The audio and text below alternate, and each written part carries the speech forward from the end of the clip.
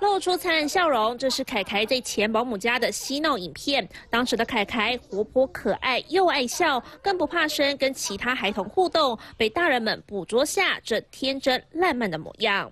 网友心疼，在网上试出影片，表示凯凯在前保姆家还白白胖胖，很开朗，却在转介后碰上恶劣保姆。遭虐身亡，不少人感伤，凯凯小小生命就此陨落。现在有市民在台北市府以及新北市府的广场发起行动，替凯凯献花哀悼。台北市府广场墙壁上贴满民众对凯凯的祝福，写下“凯凯，请把悲伤留给我们，带着我们的祝福在天遨游”。不止台北市，新北市府墙面也被贴上卡片和鲜花。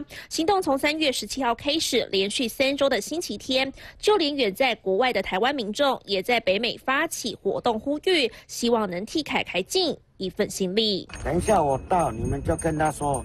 住新家喽。亲友表示，凯凯十号在阳明山进行花葬，后事有善心人士无偿负责。只是凯凯四岁姐姐参与时，却说出弟弟怎么住在土里，令大家听了鼻酸。现在也有网友透露，自己小时候曾被保姆妹妹照顾过，当时保姆妹妹在托儿所叫做 Judy 老师。网友不仅会去保姆妹妹家吃饭，姐姐也对她很好，父母还曾经参加婚礼并合照。虐童案曝光后，网友很。错愕，表示自己在杀人犯底下呆呆活着，更难过，一直错误感激一个丧尽天良的人。